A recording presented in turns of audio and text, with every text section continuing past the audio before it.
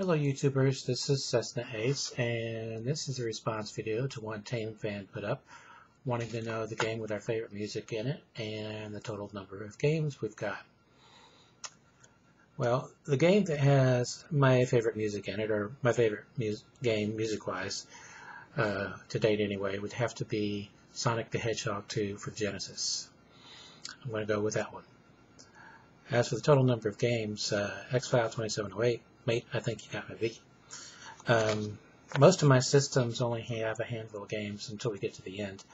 What I'm doing is I'm doing the systems with the least number of games and progressing on, and at the end will be the system with the most games.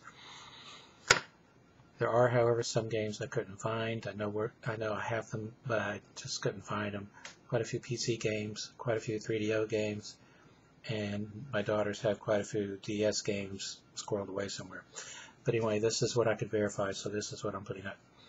Okay, Atari Jaguar CD, one game, which is understandable because I don't have a CD-ROM drive for the Jaguar.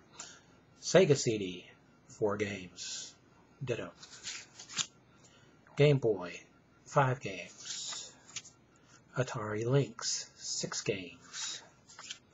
PlayStation 2, six games. 3DO, 7 games. Game Boy Color, 8 games. Nintendo 64, 9 games. Sega 32X, 14 games. Game Boy Advance, 14 games. Uh, Sega Saturn, 16 games. Atari Jaguar, 27 games. Atari 7800, 29 games. SNES, 30 games. Mattel Intellivision, 39 games. Xbox, 40 games. PS1, 40 games. Sega Master System, 43 games. Sega Genesis, 43 games.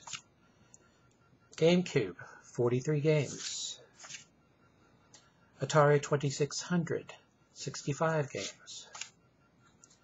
PC, 79 games.